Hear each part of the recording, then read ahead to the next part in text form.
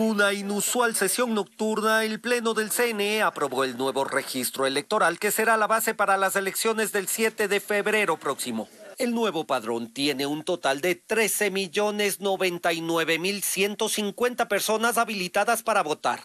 Esta cifra representa una reducción del 1,2% en relación al listado que se usó en las elecciones del 2019 ahora tiene avances importantes, pasando también, no olvidemos que la reforma del Código de la Democracia dio la posibilidad de sacar del registro a aquellas personas que no sufragaron en los últimos procesos electorales, así como aquellas eh, personas que posiblemente estaban fallecidas. El nuevo registro está compuesto por 6.466.855 hombres y 6.632.295 mujeres.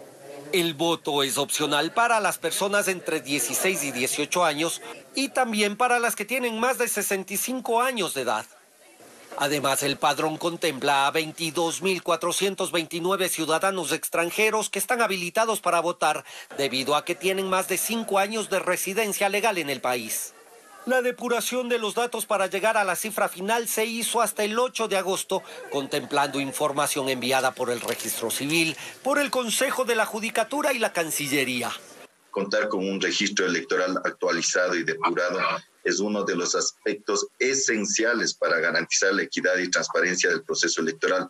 Pero el consejero Luis Verde Soto mostró sus dudas por los procedimientos empleados en la elaboración del registro.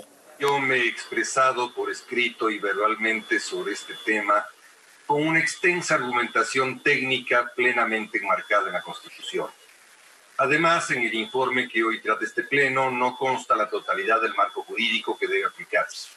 En razón de lo antes expuesto, mi voto es abstención. Al final, el nuevo registro fue aprobado con el voto de los tres consejeros de mayoría en el CNE. Y con este nuevo listado se organizarán los comicios en los que se dividirá a los votantes en 2.000 zonas electorales en todo el país.